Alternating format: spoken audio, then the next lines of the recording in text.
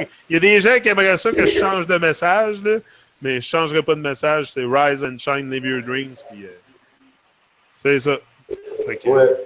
Et comme tu disais tout à l'heure, tu vois, sur certains mots de politesse, tu vois, mais ce que je trouve, moi, c'est que rien ne vaut le respect, parce que la politesse, c'est de l'ego et de l'hypocrisie, si tu regardes bien. Ah, faut que tu restes. Euh, ben, faut que tu restes vrai. Après, tu vois ce que je veux dire? Bon, euh, souhaiter le bonjour, euh, machin, mais le truc, il y, a de l'hypocrisie dans le sens où tu dis ça va, ben l'autre il répond ça va. Il répond jamais forcément la vérité. Des fois, les gens ça va ils te disent ça va. Tu vois, ça va, ouais, ça va. Et toi, ça va? C'est sûr, mais garde, quand, tu m'as demandé au début, tu me dis euh, ça va, je dis oh yeah, better than good, better than most, and you know what, sometimes even better than that. Tu sais, c'est mm. vraiment, il faut se lever au-dessus de ça, là. Faut, faut, faut. Écoute, là, moi, là, si je laisse tout dans le monde m'atterrir, là, je, ne m'élèverai jamais, là. Fait qu'il faut se lever au-dessus de l'amour, au-dessus de la haine, au-dessus de tout, tout, tout ce qui est Babylone, puis construire un nouveau monde. C'est ça qu'on a besoin. On a besoin d'un nouveau monde, puis on a besoin de gens qui collaborent à construire un nouveau monde. Un monde meilleur, un monde où il y a moins de souffrance, qu'il n'y a pas de non-sens, qu'on arrête de compter des mensonges, puis qu'on revient à la vie, qu'on revient à la vie, à la terre ou à nos racines, à ce qu'on est supposé d'être. Basically. Ben oui. Euh,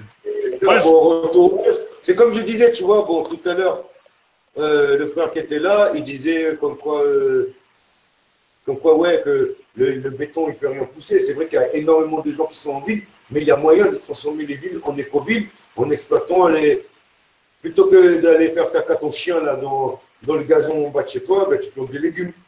Et puis même si ton chien fait caca, ça fait de l'engrais, c'est pas grave.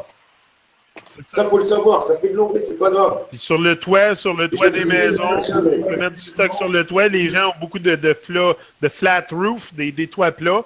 Tu peux faire pousser de la nourriture là-dessus. Tu peux faire dans des boquettes. Moi, j'ai tout fait dans des boquettes cette année. Toutes mes choses étaient dans des boîtes, puis j'ai rien acheté, puis j'ai tout fait avec ce que j'ai. Puis j'ai fait pousser 72, 72 plants de tomates. J'ai eu plein de tomates. Mais voilà, mais que justement, quand tu n'as pas de quand pas de, terrain, tu peux faire ça dans des pots, tu peux faire ben ça, euh, faire partir des trucs qui grimpent sur les murs. Hey, j'en avais jusque dans mon euh, stationnement, en avant. J'avais du stock dans mon stationnement. Euh, j'ai trois mm. places. Ça met de valeur, mais l'année prochaine, il y a deux places qui s'en vont juste pour des, bêtes. Je vais mettre des gros bêtes. Là. Je vais me faire me construire des gros des lits, des, lits de jardin, je sais pas comment, des garden beds, puis des raised garden beds. puis je vais mettre ça dans mon driveway, puis je vais me faire pousser de la bouffe le plus possible.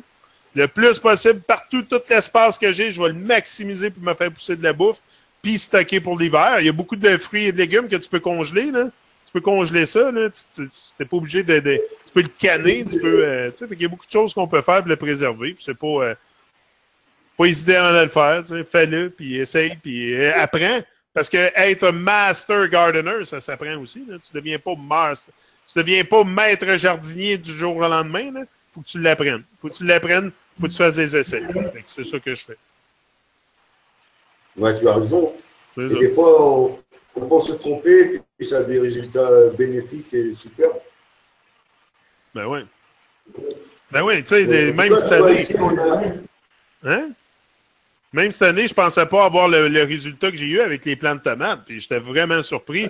Juste avec de la terre euh, bien ordinaire sais, j'ai parti avec de la terre bien ordinaire, puis j'ai eu des, quasiment des, des, des miracles. Tu sais, j'ai eu des, vraiment des grosses tomates, puis euh, très, ils, ont, avaient l'air très en santé.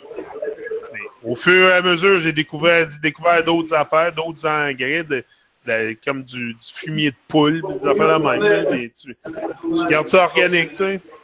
Tu gardes ça organique, puis euh, juste avec du fumier de poule, du célepson, puis euh, tu peux faire des miracles. Là des pots, des pots de bananes. Gardez vos pots de bananes, chopez ça en morceaux, mettez ça dans la terre. Y a tous les résidus organiques qu'on a, ça va dans la terre, la plante, elle va se nourrir de ça. C'est très important. De, on jette tellement d'affaires aussi, on jette tellement de choses qu'on pourrait récupérer pour jardiner avec, pour faire toutes sortes de choses, mais on jette, on jette, on jette tout. On jette ou on recycle, on l'envoie à la ville, quand nous autres, on pourrait faire de quoi avec.